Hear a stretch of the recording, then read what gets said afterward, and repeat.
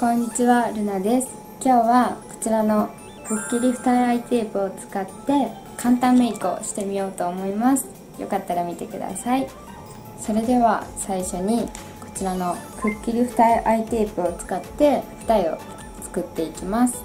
こちらの商品はすごく粘着力が強くって海やプールに行っても外れにくいし皮脂にもとても強いのですごく二重が定着してくれます。こちらを台紙から外して二重にしたい部分にひっつけていきます。で私はいつもちょっと引っ張りながらっているのでちょっと引っ張って貼ります。そしてこっちの黄色の上のやつを取ってこの付属のプッシャーで綺麗に折り込んでいきます。はいこんな感じで二重になります。左も同じ要領で作っていきます。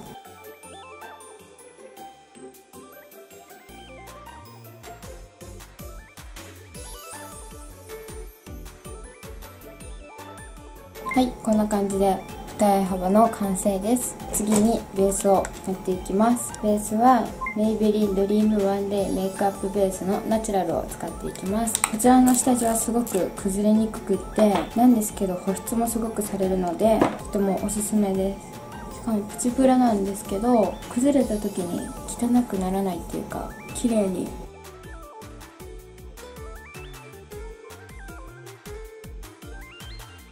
はいそして次にレブロンカラーステイメイクアップファンデーションの220番を使っていきます。こちらはもう定番の崩れにくいファンデーションで有名なんですけど私はこちらすごくお気に入りです。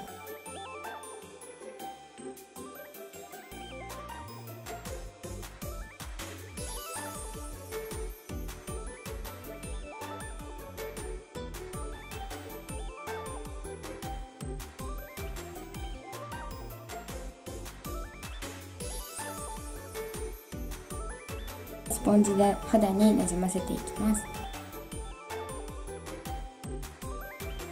そしてこちらのエチュードハウス101スティックを使ってシェーディングを入れていきます。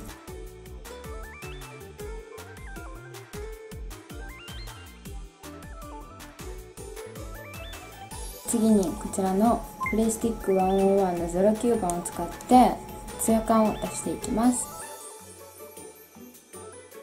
ちらのプレイ101スティックのコンシーラーとシェーディングが一緒になったタイプのやつでノーズシャドウも一緒に入れていきます。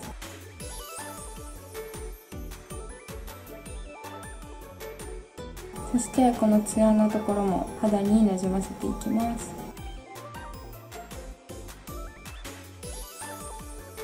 はいこんな感じでマットのファンデーションなんですけどこうすることによってちょっとツヤ感が出るのでこのマットのファンデーションを持っててもこちらのスティックを使うとちょっとツヤ感のあるファンデーションに変えることができます。こちらのプレイスティック101の16番を使ってチークを入れていくんですけど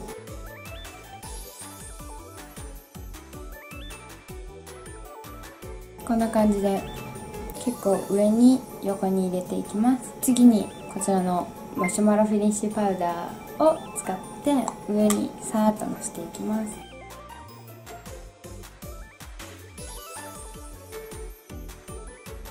はいこんな感じで次に眉毛を描いていきます。眉毛に使用するのはこちらのコージードリームマジックロングキープアイブロウのブラウンを使っていきます。こちらを眉毛もうちょっとすごい脱色しちゃって眉毛がないんですけど。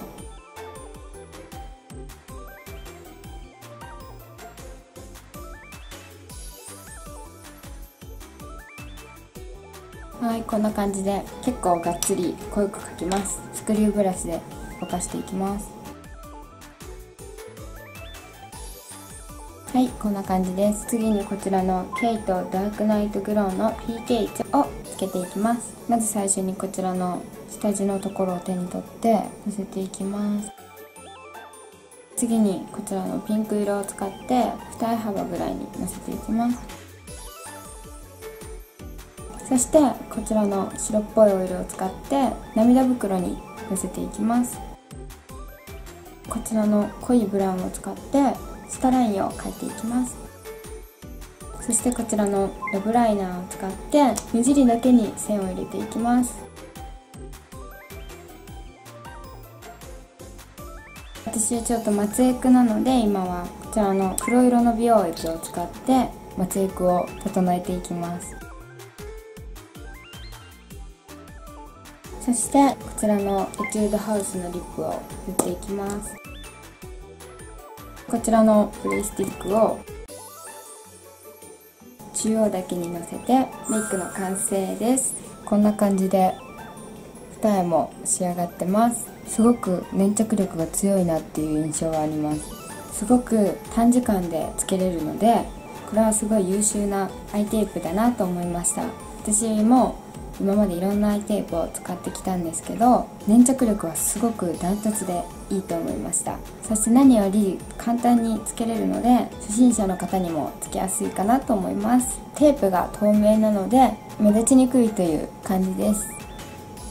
普通にしてたら全然わかんない感じです。以上で二重の作り方と簡単メイクの紹介を終わります。今回も動画を見てくださってありがとうございます。よかったらチャンネル登録お願いします。そして Twitter とインスタも更新しているのでよかったらフォローしてください。ありがとうございました。バイバーイ。